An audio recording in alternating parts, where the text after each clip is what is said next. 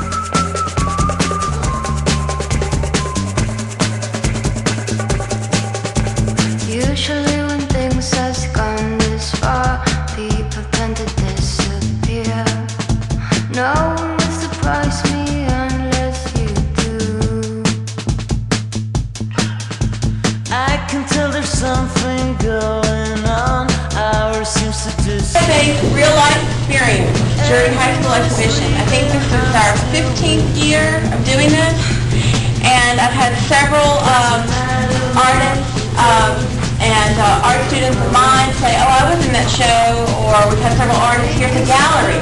I feel very honored, and it makes it gives me a sense of uh, pride in myself that I'm actually was able to get into a legitimate art show. partnership between the DuBois Art.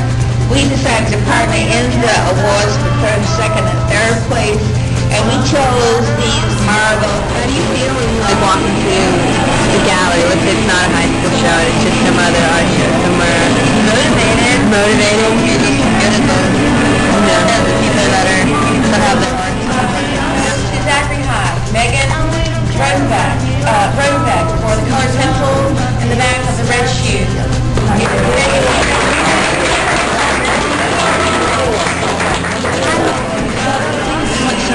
Kids is that it's not like let's build something for a competition. It's more like that's such an outstanding piece. Let's put it in a find a competition. Find a competition for it because it is so good.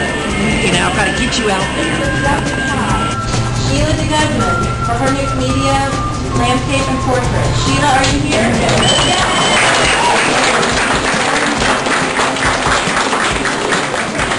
I like the competition because it brings, it makes you feel proud. It proud, you know, to have your work. Like, not that you have to beat anyone out, but just that your work is substantial to you. Zachary